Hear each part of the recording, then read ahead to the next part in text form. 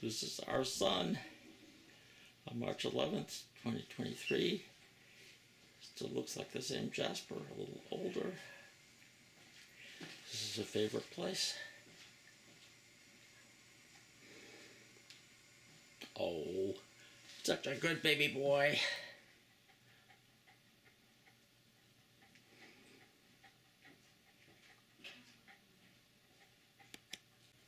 No need to shake, baby